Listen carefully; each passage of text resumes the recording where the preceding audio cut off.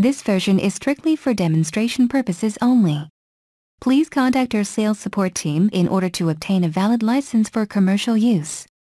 Representative Rashida Tlaib, recently a Democratic congresswoman from Michigan, generated some controversy last week after she undertook to dismiss President Trump and refer to him with a curse word, Mother F while doing so. The comment sparked a long debate about civility in politics.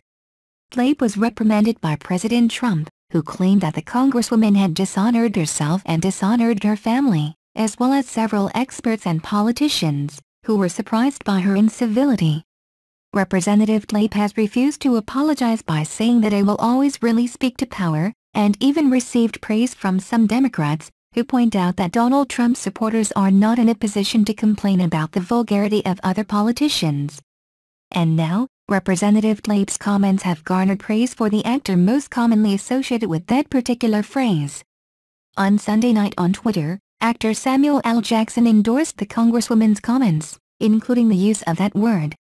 I just want to wholeheartedly endorse his use in clarity of purpose in declaring his mother F last week, Jackson said, after attacking Representative Tlaib.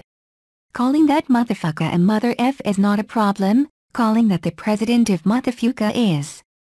He added a hashtag that that particular word was too good to waste on that or.